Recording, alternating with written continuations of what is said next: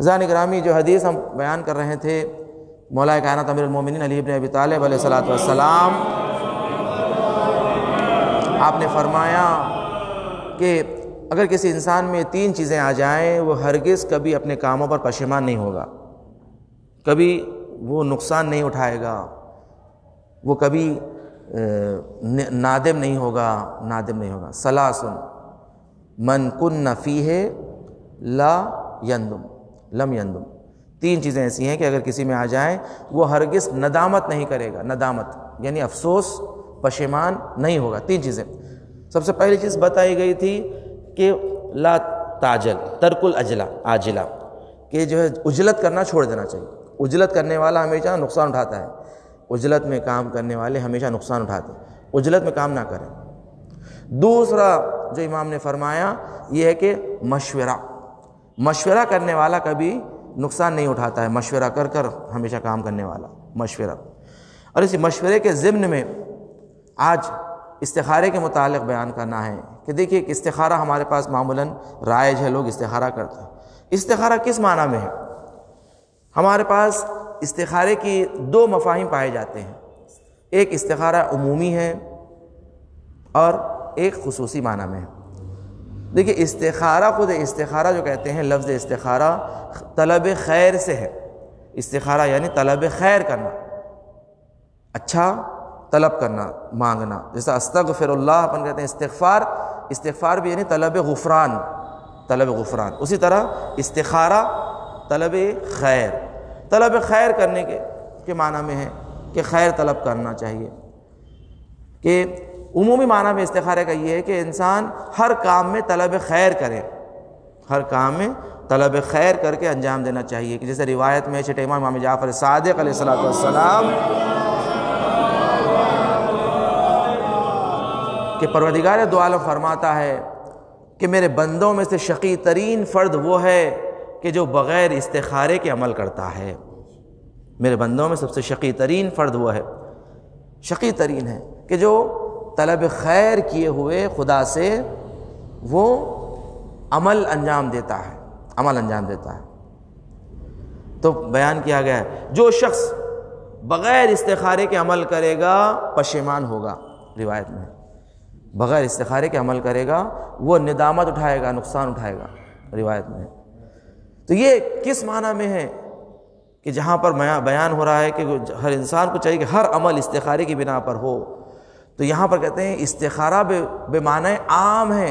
यानी यानी आप अल्लाह से खैर तलब करना चाहिए हर काम से पहले कि परवदिगार मैं ये काम कर रहा हूँ तो इसमें खैर अता फरमा।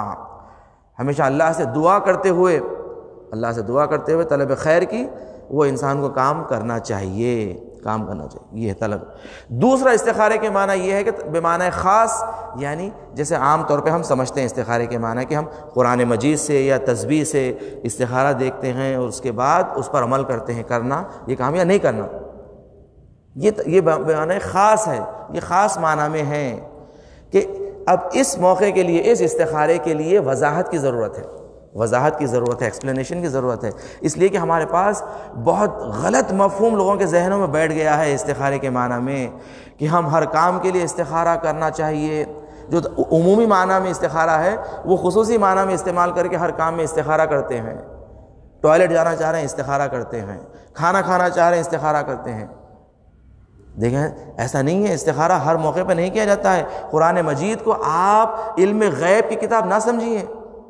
मैं ये काम करना चाह रहा हूँ, मैं कामयाब होऊँगा, नहीं होऊँगा, ज़रा इस्तारा देखिए। एक साहब आए आकर, सारे कंट्रीज़ के नाम, America, Europe, Australia, Canada, London, कहाँ के, खिबला, ज़रा इस्तारा देखना है, बच्चे को कहाँ भेजाऊँ बोल के। बोले कि, आप मैप में और कंट्रीज़ भी थे ढूंढना था, और दूसरे और भी ममालिक मौजूद है, उधर भी देख लीजिए।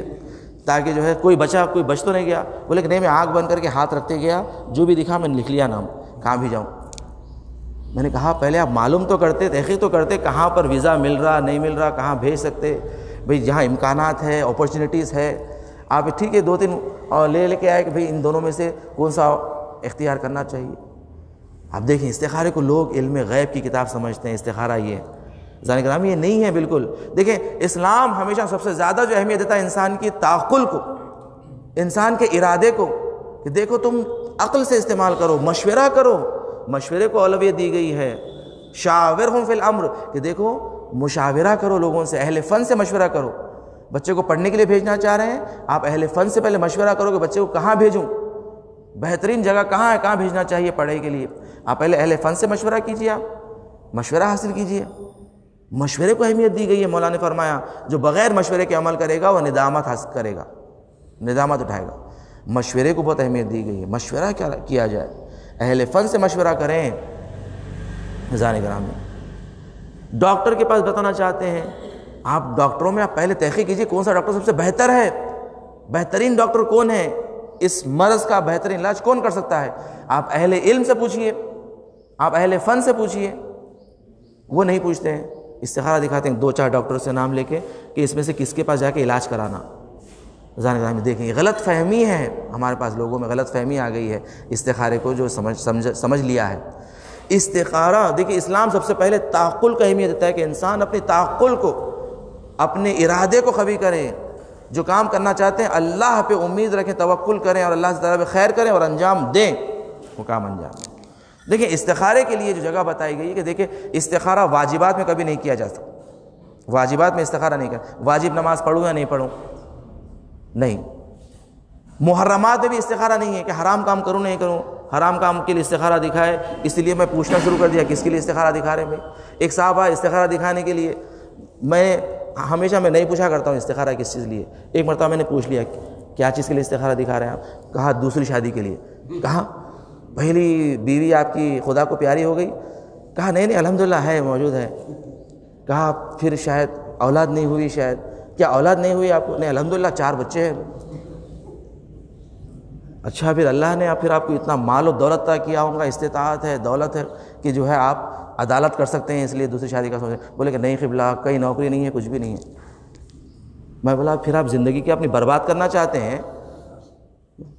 कि पहले एक को तो पालिए सही तरीके से, उसके बाद दूसरी का सोचिए। आप देखें, ये हालत हो गई है कि जो है जो है लोग इस्तारे को जो है समझिए देखो, वाजिबात में इस्तारा नहीं है, मुहर्रमात में इस्तारा नहीं है। हती मकरूहत, मकरू काम करने में भी इस्तारे के इस्तारा नहीं है, नहीं देखना चाहिए, मना है।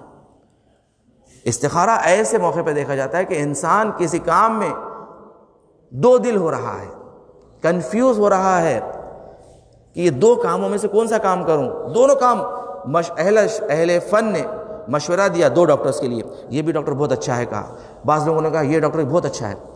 बाज़ ने कहा यह दवाखाना बहुत अच्छा है इस इलाज के लिए। बाज़ ने कहा यह दवाखाना। अब कंफ्यूज हो रहे हैं कि कहाँ जाना बेहतर है हमारे लिए, समझ में नहीं आ रहा। हमने मशवरा कर लिया, समझदार लोगों से पूछ लिया। अब हम परेशान हैं कि इन दोनों में से क्या करें? अब कंफ्यूज हो गए हैं। दोनों के जो है रैंक्स दोनों के बराबर आ गए। अब अब हम इन दोनों में कन्फ्यूज़न कैसा निकालें? तो इस्लाम ने इस्तारा रखा है कि देखो, अल्लाह नहीं चाहता कि अल्लाह का बंदा एक मोमिन कन्फ्यूज़ रहे। इसलिए कि अल्लाह ने हमें ऐसे अहल बैत अता फरमाए हैं कि जो कन्फ्यूज़न से निकालते हैं।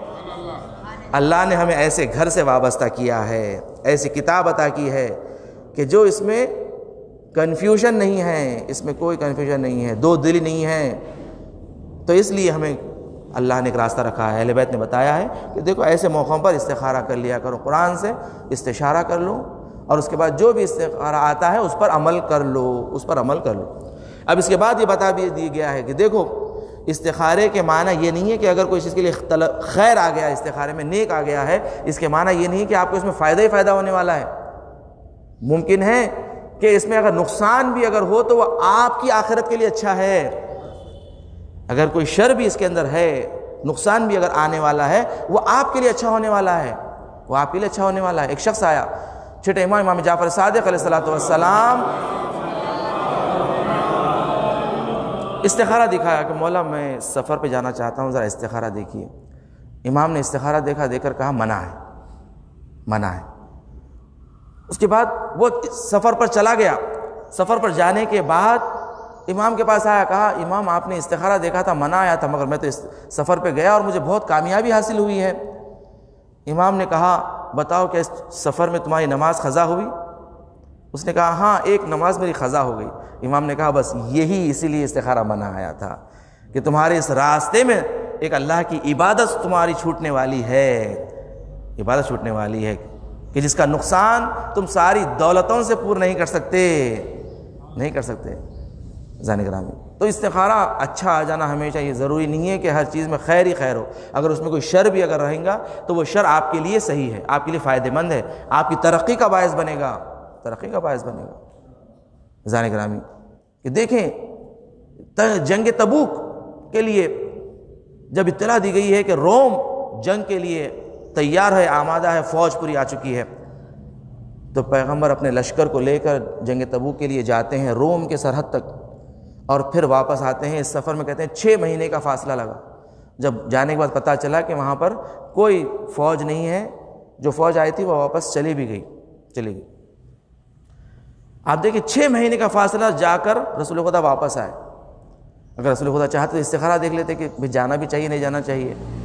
मगर पैगंबर ने अमल किया इस पर। किया इसलिए कि ये सफ़र का जाना और वापस आना खुद इसी में लोगों ने सीखा। लोगों ने तरबियत पाई इसके अंदर। जाने कराम के बाद मरतबा होता है कि बाज़ चीज़ हमारी तरबियत के लिए ज़रूरी होता है, हमारी तरक्की के लिए बायस होता है, तरक्की का बायस बनता है। अगर जंग तबूक के लिए पैगंबर नहीं निकलते तो ये हदीस मौला कानत की फजीलत में कभी हम, हमारे सामने ना आती। या अली अंता मंजिलत हारून अमिन मूसा। अली, आपकी मिसाल हारून की तरह है जो मूसा के लिए, मगर मेरे बाद कोई नबी नहीं आने वाला है। सलवात पढ़े मोहम्मद वाले मोहम्मद।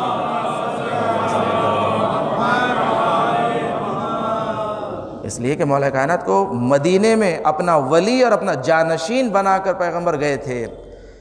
तो पैगंबर ये बताना चाह रहे थे कि देखो, नबी अपने बाद अपना जानशीन बनाकर जाता है। बगैर जानशीन के कभी नबी हत्ता मदीने को भी नहीं छोड़ता है तो सोचे दुनिया कैसे छोड़कर जाएगा? देखें कि हमारे पास जो इमामत की दलील है कि रसूल खुदा ने अपने बाद अपना वली जानशीन मुकर किया है, कि जब भी आप मदीने के बाहर जाते थे तो वली और जानशीन मुकर करके जाते थे। ये जंग तबूक के वाक़ात में से हैं अजान ग्रामी कि देखें इस्तारे की जगह इंसान को उस मौके पर है कि इंसान जहाँ पर दो दिल हो जाता है। इस्तारे के लिए बताया गया है कि देखें इस्तारे के मुख्तलिफ़ तरीक़े बताए गए हैं कि इंसान अगर कोई काम करना चाहता है तो वो तलब खैर करें अल्लाह से, दो रकत नमाज़ पढ़ें और तलब खैर अल्लाह से दुआ करें और उसको अमल को अंजाम दें। अंजाम दें। और ये भी मसला बता दिया जाए कि देखें इस्तारे पे अमल करना ज़रूरी नहीं है। तमाम उलमा ने फ़ुका ने बताया कि इस्तारे पे अमल करना, मिसाल के तौर पर इस्तारा अगर अच्छा आ गया तो आपको अमल करना ज़रूरी नहीं है इसके ऊपर। अगर इस्तारा मना आ गया तो आपको नहीं करना भी ज़रूरी नहीं है। आप चाहे तो कर सकते हो। कर सकते हैं। आपके पास कोई हरमत नहीं है। कोई हरमत नहीं लाता है इस्तारा कोई हरमत नहीं लाता है इस्तारे मगर बेहतर है कहते हैं, अफजल ये है कि इस्तारा देखने के बाद उस पर अमल ज़रूर करें। ज़रूर करें। तो सबसे पहले बता दिया गया कि इस्तारा हर मौके पर नहीं किया जाता है। इंसान खुद अपने इरादे और अपने अक़ल को ताकुल को तकवीत दे। सबसे पहले मशवरा करें। मशवरा करने के बाद से फिर आप खुद अपने अक़ल से, इरादे से उसे अंजाम दें। खुदा से तलब खैर करते हुए, खुदा से तलब खैर करते हुए उसे अंजाम दीजिए अंजाम दीजिए। ये इरादे इंसान को खवी करते हैं। ये इंसान, अल्लाह चाहता है कि इंसान साहिब इरादा बने। साहिब इरादा बने, इसलिए कि जब इंसान इस्तारा करता है बार बार तो इंसान साहिब इरादा नहीं बनता। हमेशा तजलजुल में रहता है वो। हर काम के लिए इस्तारा देता हर काम के लिए इस्तारा देता तो ये दीन नहीं चाहता है कि तुम मुतजलजिल बन जाओ। नहीं, मुतजलजिल नहीं। साहिब इरादा, साहिब अज़म।